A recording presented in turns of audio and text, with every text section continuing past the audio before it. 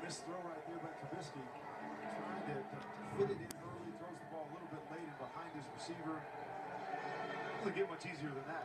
Darius Slay, nice read. Always keeping his eyes back on the quarterback, allowing to see the ball come out. But That's three turnovers, all interceptions thrown by Trubisky, and eight turnovers for the Lions in the last two games. Jim Caldwell me, get down. Let's get down and get out of Dodge. The Stafford will take a knee. The Lions will play Green Bay here in Week 17. It might mean something, might mean nothing.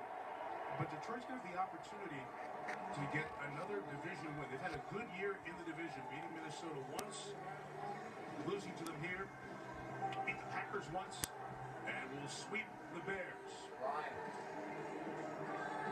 20 to 10, the Detroit Lions ensure